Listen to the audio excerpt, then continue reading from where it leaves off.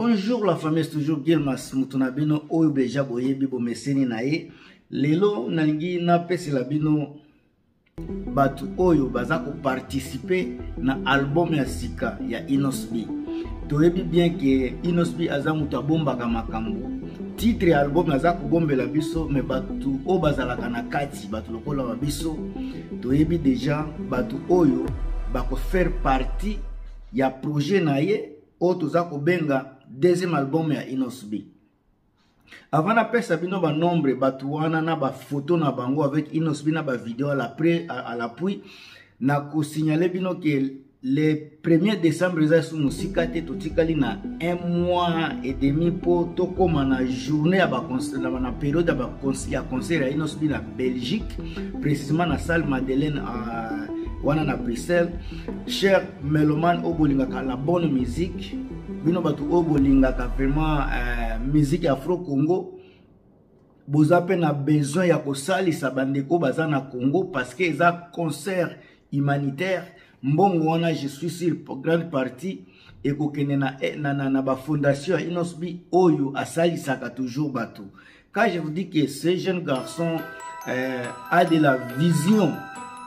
ya, ba, ya koleka baprésident na biso bondimelaka ngai te moto andima kose deplace kokende kobeta miziki au profit ya bato misusu pendant ke toza na bamusicien ebele awa baza kobeta baconcert nyonso eza mpo na bango mais inosbi qui se sacrifie na mwa ndambo ya mbongo akozwa akokata katikati ake kosalisa toujours bato oyo baza na, baza na besoin puisque il mange avec la population il connaît la douleur la souffrance de la population yango à chaque fois ke aza kobima aza kopartage na bango avec lepe oyo aza kozwa alors bino bato boza na babelgique na france kutu eza mosika te bino tu boza na périphérique wana na, na union européenne oyo bolingaka afro congo bolingi mpe kosoutenir bandeko na bino oyo baza na congo c'est la bonne place ya kokende chaque fois oza kosomba biye na yo oza déjà sur ke osalisi mutu na congo alors bokende kosoutenir concert ya inosb oyo ekozala na salle madeleine na bruxelles des, euh, le 1er décembre 2023 maintenant soki tokoti na makambo ya album na ye deuxième album oyo deja eza kobima kala mingi te eh, bandeko na ngai bobosana te kopartage kokomante na video oyo botiang botyela ngai bajeme mpo tokende liboso atake le gardien ya so ya ba griffe naza awa mpona ko soutenir toujours ba cause ya kitoko ba œuvre ya bien comme toyebi ke inosb aza mutu ya ba surprise oyo tomonaki deja nzembo na ye na caris ezalaki surprise mpo na bato tu mais baetesele oyo eza kolakisa biso kilelo ke inosbi aza na chance monene ya kobetisa bastare internationale ebele toza nango deja tomoni ye kala mingi te na, na fie ami alade tomoni ye na nani davido davido ako chance eza mingi azala na kati mutu lokoso toke na états-unis chris brown jennifer lopez jason derulo bato wana 80 ya chance moko na bango azala na kati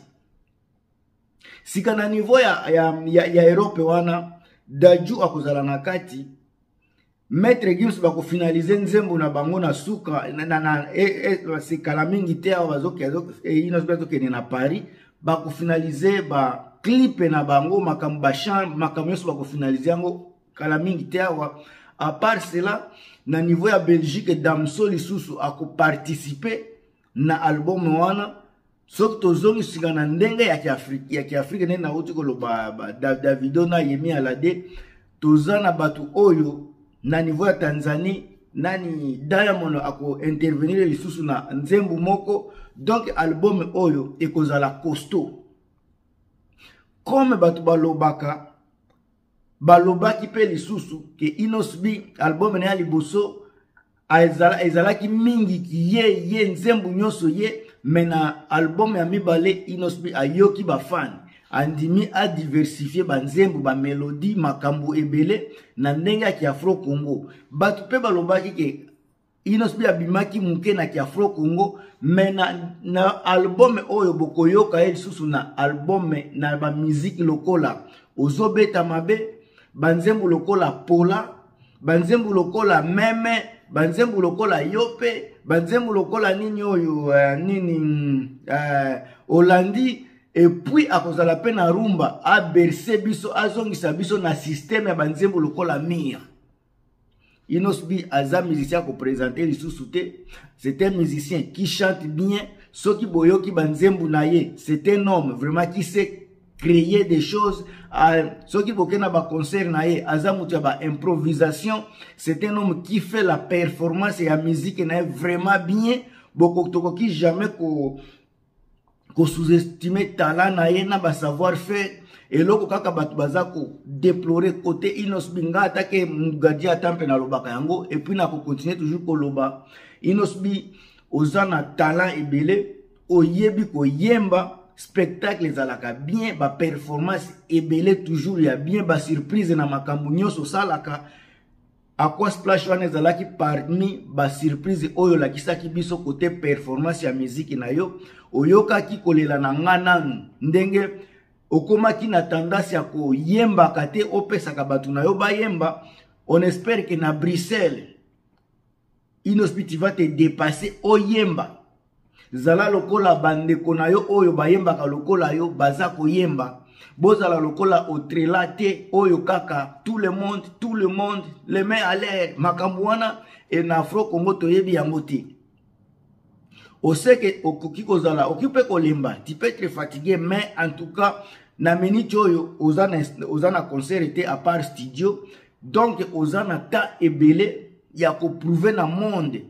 ya ko prouver encore une fois que vous avez de la performance vraiment na kati na, na ba musique na yo que vous avez du talent à prouver à chaque fois na public et que vous avez na oza mutu ya ba surprise mama na biso mukaji international pona chite mama na biso mukaji international akozanga na album te et puis soki bokoke na concert na Bruxelles soki omemi ye boyemi nzembo lokola non non ekosala bien ekosala mpe bien mpenza soki olongoli mpe motu lokola zuchu na banzembo boyemba na ye re bosika komi koyemba baparti wana bosali symbiose wana na podium bagriffe ba bakosepela ekozala eloko oyo esalemaka te na miziki apart vie na biso tabulei asala yango kofi olomide asala bozi boziana asala epuis okoya sika kozwa mpe place wana parmi bapionnier oyo basala makambo wana deja osala yango okomi kosala yango continue na yango alors euh, bino baoyo boza na esprit ya kosoutenir baevre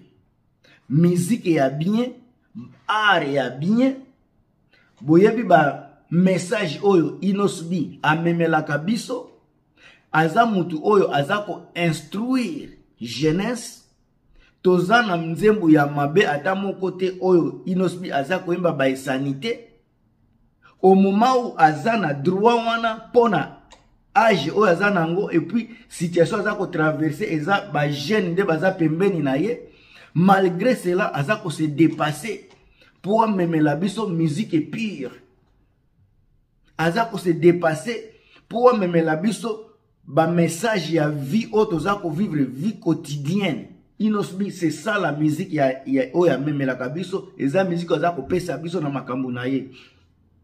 epai ya inosbi okokende okobina okoyemba me okozonga na ndako na message na soko totali banzembo oyo nyonso inosobi amemeli biso de, de, na deza oyo banzembo nyonso eza na message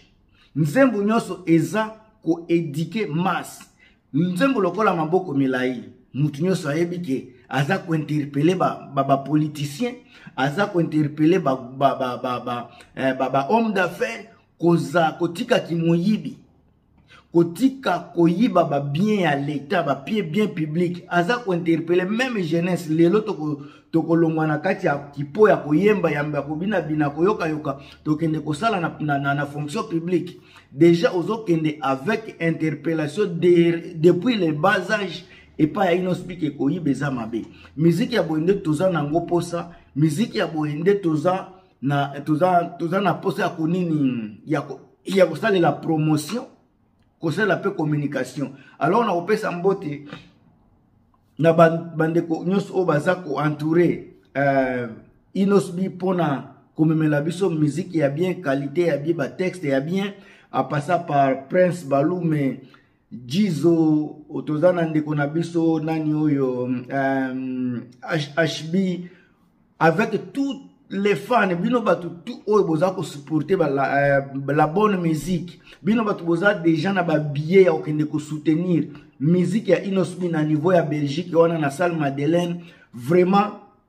je suis fier de vous et je ne sais comment vous remercier la seule chose oyo nakosenga na bino kaka bozala toujours vrai bozala toujours wana mpo na kosoutenir cause ya bien jeunesse oyo uh, eza na maboko na, na biso inosbi aza parmi uh, leader ya masse ya jeunesse wana soki topesi ye maboko topesi ye poa tosoutenir ye ekopesa ye mpe force ya kokontinue kopesa biso musique éducative nga mtu na bino gilmas tokutani na émission mosusu bye